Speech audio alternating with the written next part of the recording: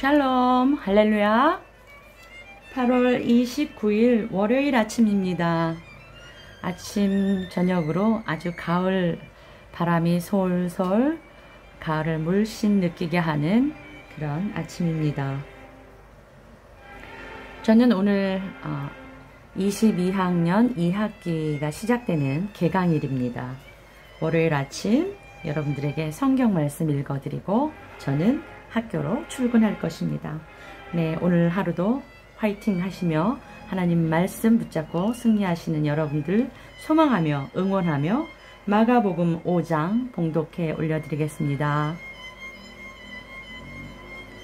예수께서 바다 건너편 거라사인의 지방에 이르러 배에서 나오심에 곧 더러운 귀신 들린 사람이 무덤 사이에서 나와 예수를 만나니라. 그 사람은 무덤 사이에 거처하는데 이제는 아무도 그를 쇠사슬로도 맬 수 없게 되었으니 이는 여러 번 고랑과 쇠사슬에 매었어도 쇠사슬을 끊고 고랑을 깨뜨렸음이로라. 그리하여 아무도 그를 제어할 힘이 없는지라. 밤낮 무덤 사이에서나 산에서나 늘 소리 지르며 돌로 자기의 몸을 해치고 있었더라. 그가 멀리서 예수를 보고 달려와 절하며 큰 소리로 부르짖어 이르되 지극히 높으신 하나님의 아들 예수여 나와 당신이 무슨 상관이 있나이까 원하건대 하나님 앞에 맹세하고 나를 괴롭히지 마옵소서 하니 이는 예수께서 이미 그에게 이르시기를 더러운 귀신아 그 사람에게서 나오라 하셨습니다. 이에 물으시되 내 이름이 무엇이냐? 이르되 내 이름은 군대니 우리가 많음이니이다 하고 자기를 그 지방에서 내보내지 마시기를 강구하더니 마침 거기 돼지의 큰 떼가 산 곁에서 먹고 있는지라.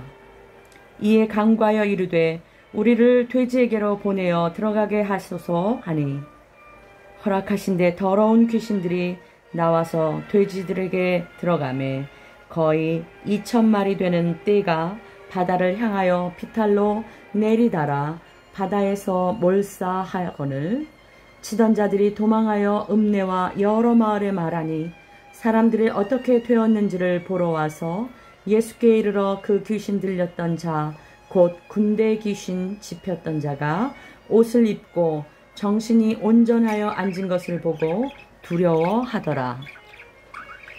이에 귀신 들렸던 자가 당한 것과 돼지의 일을 본 자들이 그들에게 알림해 그들이 예수께 그 지방에서 떠나시기를 간구하더라. 예수께서 배에 오르실 때에 귀신 들렸던 사람이 함께 있기를 강구하였으나 허락하지 아니하시고 그에게 이르시되 집으로 들어가 주께서 네게 어떻게 큰 일을 행하사 너를 불쌍히 여기신 것을 네 가족에게 알리라 하시니 그가 가서 예수께서 자기에게 어떻게 큰 일 행하셨는지를 대가볼리에 전파하니 모든 사람이 놀랍게 여기더라. 예수께서 배를 타시고 다시 맞은편으로 건너가시니 큰 무리가 그에게로 모이거늘 이에 바닷가에 계시더니 회당장 중에 하나인 야이로라 하는 이가 와서 예수를 보고 발 아래 엎드려 간곡히 구하여 이르되 내 어린 딸이 죽게 되었사오니 오셔서 그 위에 손을 얹으사 그로 구원을 받아 살게 하소서 하거늘 이에 그와 함께 가실새 큰 무리가 따라가며 애워싸 밀더라.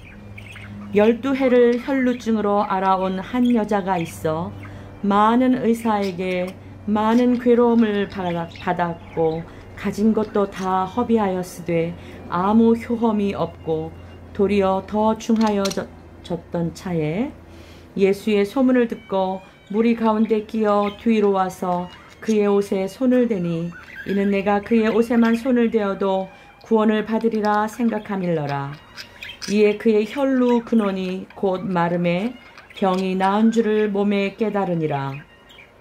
예수께서 그 능력이 자기에게서 나간 줄을 곧 스스로 아시고 무리 가운데서 돌이켜 말씀하시되 누가 내 옷에 손을 대었느냐 하시니 제자들이 여짜오되 무리가 애워싸 미는 것을 보시며 누가 네게 손을 대었느냐 물으시나이까 하시되 예수께서 이 일 행한 여자를 보려고 둘러보시니 여자가 자기에게 이루어진 일을 알고 두려워하여 떨며 와서 그 앞에 엎드려 모든 사실을 엽주니 예수께서 이르시되 따라 네 믿음이 너를 구원하였으니 평안히 가라.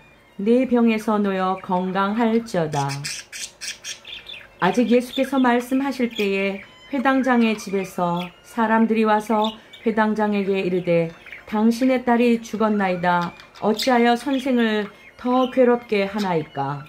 예수께서 그 하는 말에 곁에서 들으시고 회당장에게 이르시되 두려워하지 말고 믿기만 하라 하시고 베드로와 야고보와 야고보의 형제 요한 외에 아무도 따라옴을 허락하지 아니하시고 회당장의 집에 함께 가사 떠드는 것과 사람들이 울며 심히 통곡함을 보시고 들어가서 그들에게 이르시되 너희가 어찌하여 떠들며 우느냐 이 아이가 죽은 것이 아니라 잔다 하시니 그들이 비웃더라.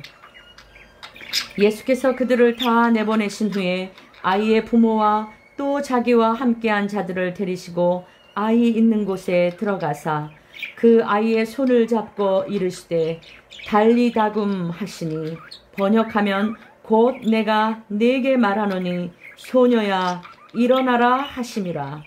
소녀가 곧 일어나서 걸으니 나이가 열두 살이라. 사람들이 곧 크게 놀라고 놀라거늘. 예수께서 이 일을 아무도 알지 못하게 하라고 그들을 많이 경계하시고 이에 소녀에게 먹을 것을 주라 하시니라. 아멘, 아멘, 아멘. 오늘의 말씀은 예수님께서 아, 혈루증 여인과 야이로의 딸을 살리신 기적의 말씀을 우리가 함께 봉독했습니다. 이 말씀 가지고 여러분들 삶 속에서 병이 쾌유되고 우리의 삶이 모두 회복되는 그런 하루가 되시기를 간절히 소망합니다. 저는 오늘 22학년 2학기 개강일이기 때문에 또 서둘러서 학교에 출근합니다.